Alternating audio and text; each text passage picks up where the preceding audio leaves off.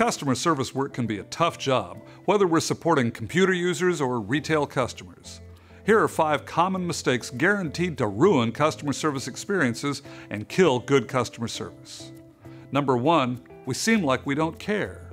Support situations can fail when we don't sound or act as if we care, are concerned, or appreciate the customer's or end user's situation.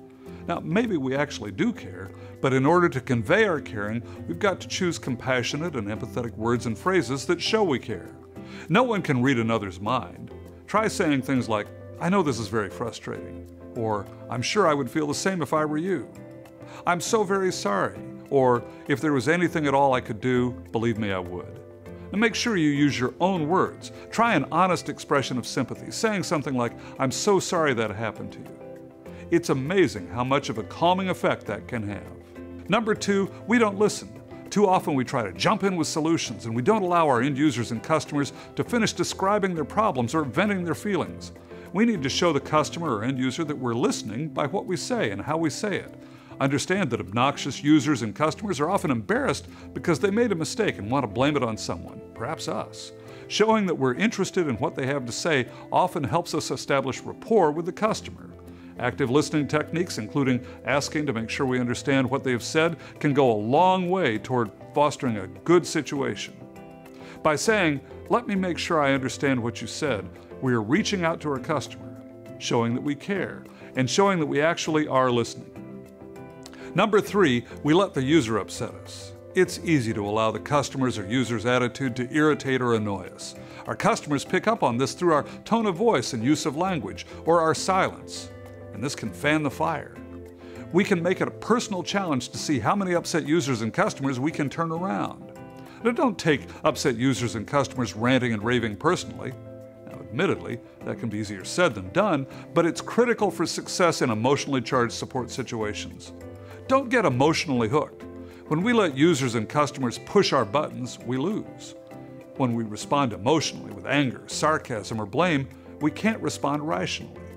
When things heat up, we can cool off by saying that we need to research the situation and possible solutions and ask if we can get back to the user or customer at a later time. Number four, we use the wrong words. Some trigger words can cause users and customers to become more difficult. Some of these are can't, you'll have to, or a flippant, sorry about that. Be sure to offer users and customers an alternative. Choices provide users and customers some say in how they want to proceed. Instead of saying, I don't know, try, let me get you an answer, or let me find out for you.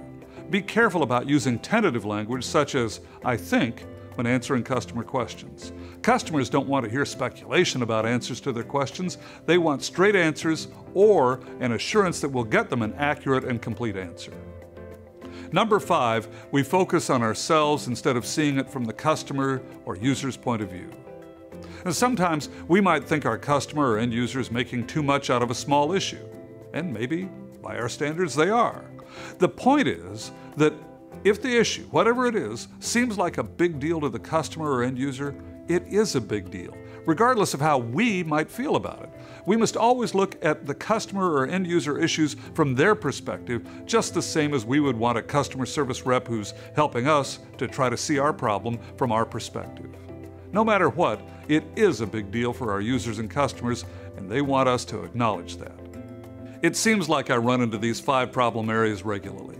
It's really not that hard. When we act like we care, when we give our customers the benefit of truly listening, when we maintain our composure, even in the face of angry or upset customers, when we choose our words carefully, striving for positive language, and when we try to see the situation from our customer's perspective, we can avoid these five customer service killers.